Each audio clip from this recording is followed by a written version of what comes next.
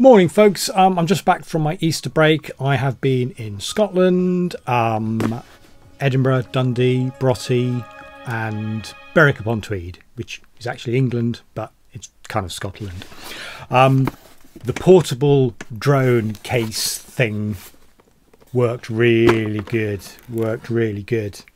There we go. So that's that's a Volca modular and um, an NTS one um, and a USB power supply. This worked great. The funky cable I bought um, to power my Volca from the USB that worked great. Um, I did uh, my recordings using the Zoom. Top tip here, this is an old H1. The top tip here is you want to set your input gain here like way down. It goes from like one to a hundred. You want to be at like five, five or six, and it's just these controls here. Um, and you'll just put uh, and what I just used is, a, is literally just a stereo, um, you know, sort of 3.5 mil cable um, in, in, in, into there um, from my NTS1. Uh, and the super nice thing is this with this approach is you can be basically anywhere um, and get a really nice, good quality recording out of your synths.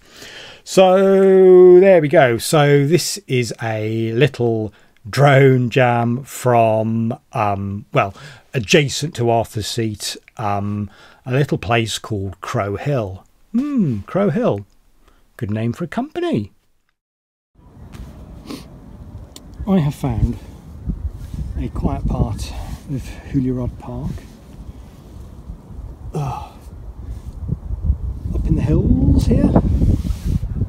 And a patch of, well, I wouldn't call it dry grass, but grass. Oh, I'm thinking um, it's relatively peaceful here.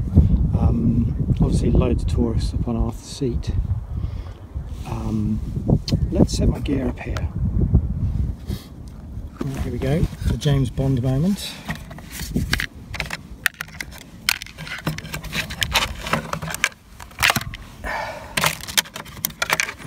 Did I bring everything I need? I think so. I think so.